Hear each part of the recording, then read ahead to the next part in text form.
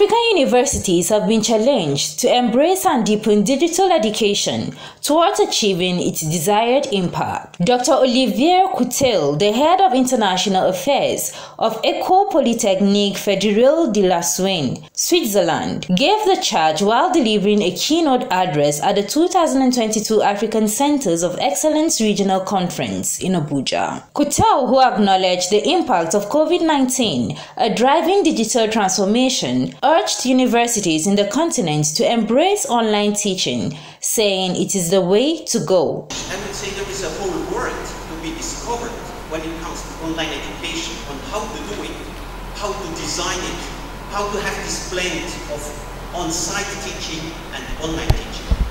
So this conference comes at the right moment. Let's think, think together about how can we actually uh, sustainably integrate digital education for our, the future of our kids and children. It will come at a cost. And we have to bear this in mind. It's not for free. There is a cost to it. But believe me, a growing share, especially here on that continent of African students, will certainly take advantage. Earlier, the Executive Secretary of the National Universities Commission Professor Abubakar Rasheed indicated the decision that inspired the Commission to rethink its approach to adopt sustainable integration of digital education in Nigeria. We understood our poverty, poverty of ideas, our inability to continue effective delivery of lectures during the pandemic.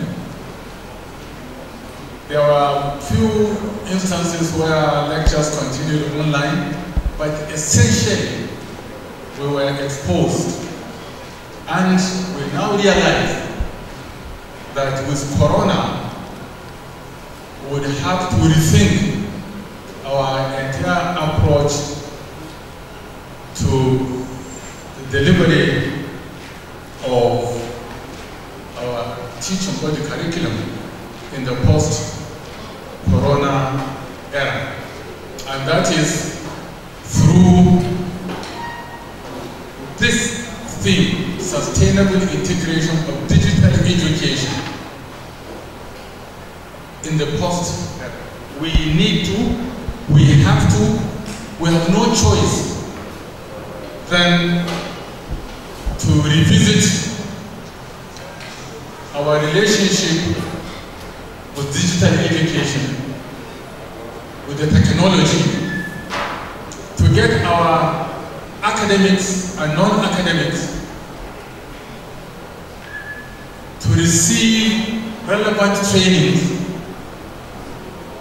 in course delivery other speakers, including the Minister of Education, Communications and Digital Economy, also reacted on the impact of digital education on the country. We believe that this conference will afford the government officials, administrators of universities, and faculty members attending this conference to address policy issues for sustainable and efficient integration of digital tools and technologies in education.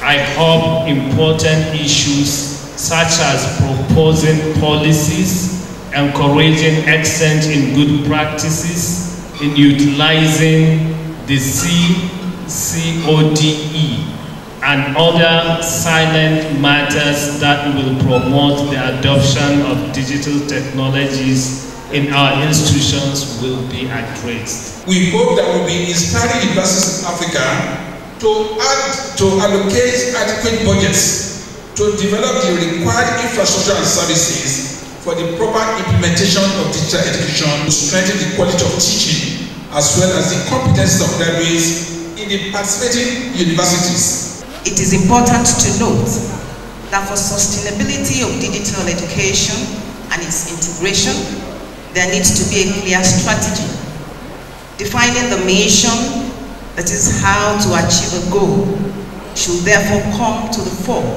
at such a conference as this. The theme of the conference is Sustainable Integration of Digital Education in the Post-COVID-19 Era. CNA News.